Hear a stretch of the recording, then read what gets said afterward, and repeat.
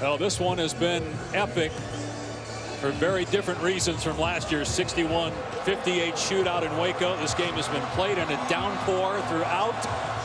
Neither team scored an offensive touchdown from the middle of the first quarter until the first overtime.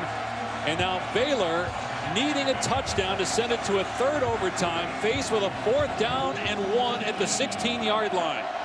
Now they're going to come back in a set that looks like they might go for quarterback sneak. Johnson, the quarterback, is 235 pounds. He's going to hand it off to Chafin. He's taken down for a loss. TCU wins. Baylor's hopes of a Big 12 title and a shot in the college football playoff gone.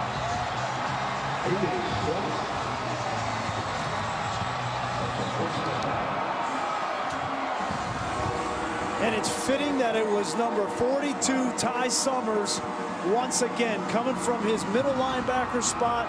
He's done it all night. CU fans storming the field.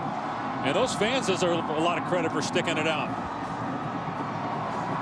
Go back and look at that play, Dave, where you, Ty Summers from his linebacker position 42. He squeaks through there, and you're going to see that's Julian Lewis from his corner position, unaccounted for into the backfield. But Summers all game made these plays, and you got to give him credit fighting through all the injuries defensively. They lose both starting Mike linebackers, and he played his tail off. What'd you think of the call, the deep handoff rather than the, the quarterback sneak? I'm fine with the call. I mean, it's a short yardage situation. What else are you going to do? I mean, they tried the quarterback sneak, and that got stuffed. Yep. It wasn't the play call the reason why they didn't get that fourth down. It was the fact that TCU's defense was up to the task.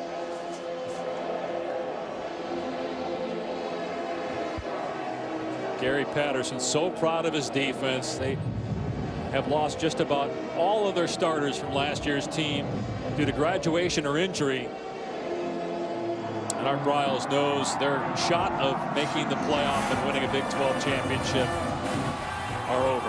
28-21 the final. Sports Center is coming up next. Stay tuned for more from Fort Worth. For Brian Griese, Tom Luginbill, I'm Dave Pasch. So long for now. Steve Levy, John Buccigross, Sports Center.